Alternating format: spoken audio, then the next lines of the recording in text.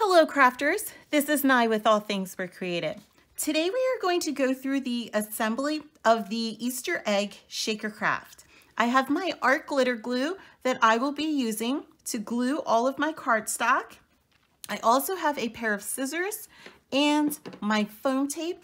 I will be using this foam tape between one of the layers to help to create just a little bit of space between the layer. So that way when I go to add these beads as my shaker element, they'll be able to freely move within the um, space and within the craft and create that really fun shaker effect. I also have some twine that I will be using. I'm going to use that to just add a little bit of a loop so I can hang it.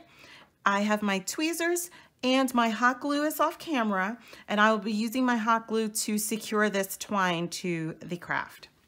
And so once you have everything all cut out and you're ready to start gluing, you wanna make sure that you take a few moments to line everything up and to get that orientation correct.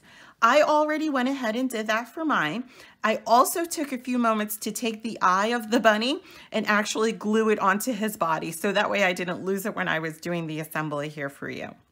So I'm going to speed up the video just a little bit and you'll still be able to see um, what I'm doing.